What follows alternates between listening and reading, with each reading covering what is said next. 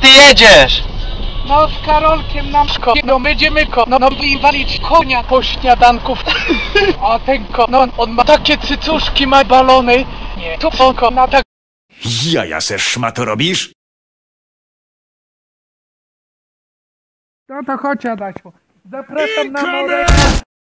Co, myślałeś, że można mnie bezkarnie poniżać? Chuj ci w dupę. Miarka się przebrała! A.